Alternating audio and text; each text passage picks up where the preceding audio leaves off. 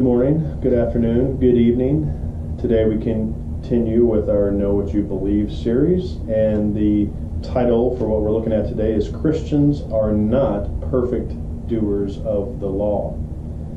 Not even Christians can keep the law of God as God demands it to be kept. They still possess the evil nature, the old Adam, and whatever proceeds from this influence is wicked and sinful. The Apostle Paul, a Christian, admitted that he was not yet perfect, but that he was unceasingly striving after that perfection which Christ wanted him to have.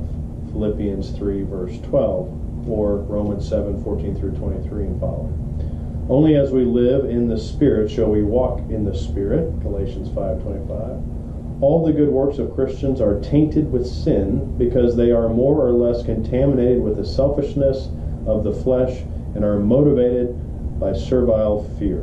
However, for Jesus' sake, even those imperfect spiritual sacrifices of God's children are acceptable to God.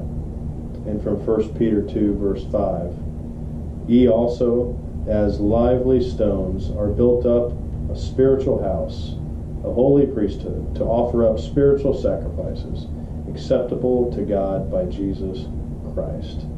So we are not perfect doers of the law because we walk in this life with the new regenerate man and the old man. And we can't in this life ever separate those two to tell which one is active and which one is not at that at any given time.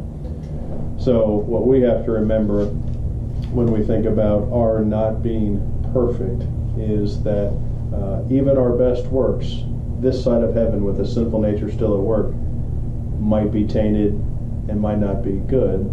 But we also see that as God's new creations, we ought to always strive uh, to do these things uh, according to God's will and God's plan. So just because we can't do these things perfectly, we always strive to do them the best that we possibly can. And even if they're imperfect, we're reminded, God still rejoices in these imperfect good works that we attempt to do for the right motives toward others. So, it's not a futile thing where we think, oh, since I can't do it perfectly, I don't do it at all. Not an acceptable excuse.